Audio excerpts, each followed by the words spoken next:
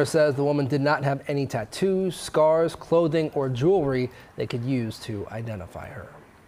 Cincinnati police are also looking for a woman wanted for multiple financial crimes. This is 24 year old Kyara Phelps. She is wanted for forgery, theft, and identity fraud.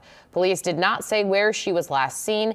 If you happen to know where she is, you are asked to contact Cincinnati police. The third Republican presidential primary debate is tonight.